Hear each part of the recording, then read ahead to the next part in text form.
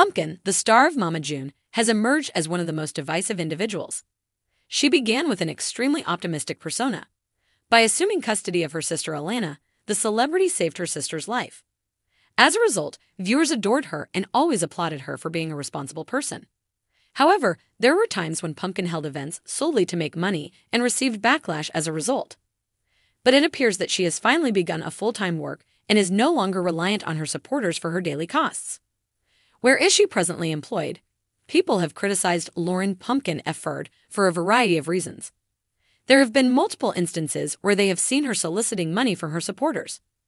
But it appears that the Mama June actress has opted to earn her own money and has begun working for it. A Reddit user recently disclosed some disturbing information. According to the post, Lauren may now have a full time job with benefits. It went on to say that she claimed she had to work the next day at Geico. This made viewers wonder if Pumpkin was finally working hard to make ends meet. The Redditor anticipated that she must have stayed up all night because she had to go to work the next day. The discussion went on to say that Lauren might not be on drugs because of this. As a result, the OP believes she now has a 9 to 5 job because she is a hustler who does not give up easily. However, it appears that not all Mama June viewers were convinced. It's a joke, said one person. Another person commented, She's obviously not serious. Someone else added, No, honey, none of them work.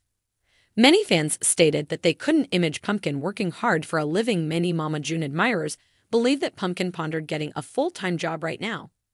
She is a mother of three children and also has custody of Alana. As a result, the celebrity would undoubtedly want additional funds at this time. Furthermore, Lauren discussed her previous financial difficulties. She admitted that her automobile had recently been repossessed because she had fallen behind on payments. The former reality star even stated that she could no longer afford the necessities of life. Pumpkin has even requested that her admirers give her formula and diapers for her children. She revealed that her husband, Josh, was working multiple jobs simply to make ends meet. However, he has been unable to make ends meet. As a result, there is a good likelihood that Lauren considered going out and seeking a job after struggling for a while. Fans believe that if she is not currently working, she should consider doing so because selling random items on live chats will not make her wealthy. Return to Mama June 24 for the most recent Mama June tea.